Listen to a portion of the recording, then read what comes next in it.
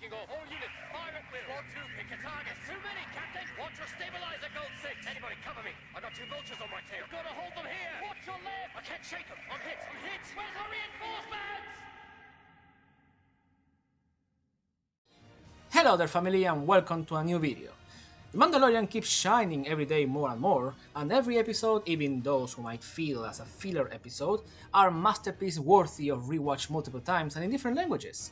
And every episode has its moments that are just worthy of just rewind the episode and that scene and watch it over and over and over. And one of them is of course the duel between Ahsoka and Din Djarin, where thanks to the Beskar armor, he is able to resist and stop the lightsaber slashes which is one of the reasons why the Mandalorians had an edge against the Jedi in their wars. But, in terms of live action, this is kind of not the first time that we see Beskar use it to deflect lightsaber path attacks. Because you see, in the match of Jango vs Mace Windu, which has sparked a semi-debate that Beskar doesn't deflect lightsaber but people forget that Mace cut it through the cloth, not Beskar, we know how it is to fight. But what people may have not seen is that there were so there were few seconds that were shorter away from this match.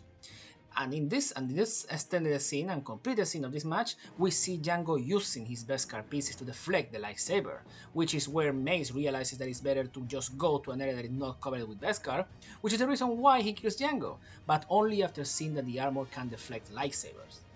It sucks that this scene wasn't completely shown in the movie, but it still is a good element to be rescued and brought back to more people to enjoy thanks to the boom of The Mandalorian.